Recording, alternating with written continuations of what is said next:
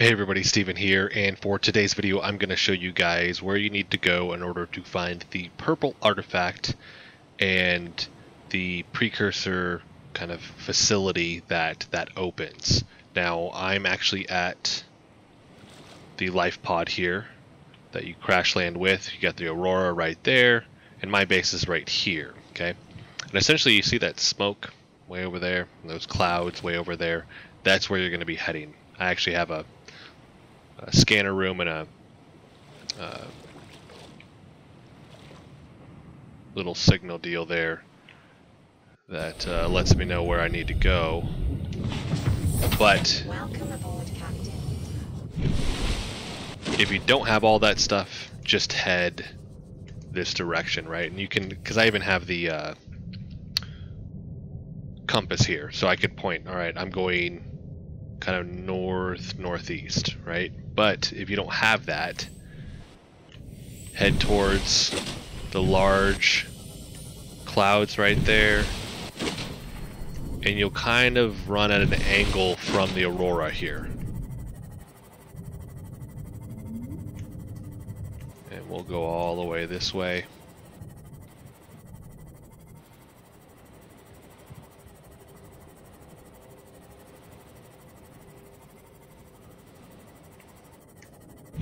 Like I said, I'm running just a diagonal, I don't know, 45 degree angle away from the aurora there, and you can kind of see it. This is where they have some like, I don't want to call them glitches, but you can see it in the waves there. You can see the island.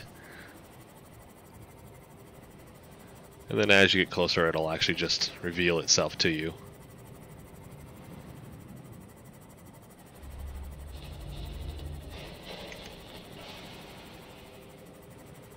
And there's some uh, deep underwater parts, or parts around here also. So there's the island.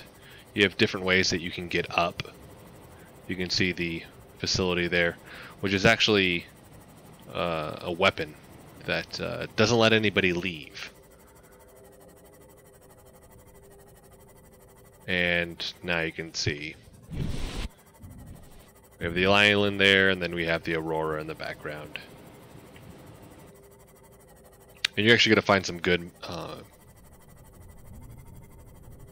like minerals and stuff over here that you're going to need to build stuff.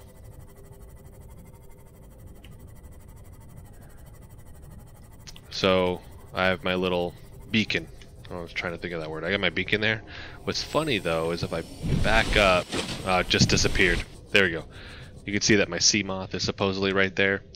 Uh, be careful. I crash landed mine up against the sand, got out of it, went to come back in, and it actually got like absorbed, like it just disappeared into the, the island here. Oh.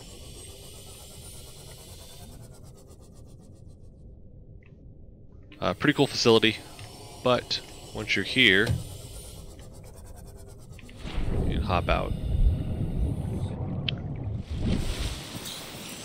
So if you follow some of these trails, you can go in there and you'll find a lot of different cool things. Uh, lead being one of the main kind of ingredients that you're going to need to build some stuff.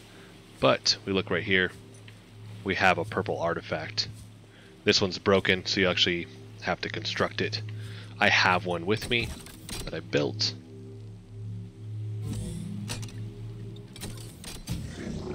And then it lets this down. Like I said, is actually a gun. Alright, so once you unlock that, that's actually just going to let you go inside. You guys can explore all of that. I don't want to ruin anything for anybody uh, in terms of what's in here, what you end up finding, or anything like that. So hopefully this helps anybody that's kind of curious about after you've played for about an hour or so, what do you need to do next? You actually need to come over here and uh, check out this facility here. So if you guys like the video, hit the like button for me if you want to continue to follow along with this uh, Subnautica series that I'm doing and any of the other games and videos that I pump out, hit the subscribe button for me. Thanks so much for watching.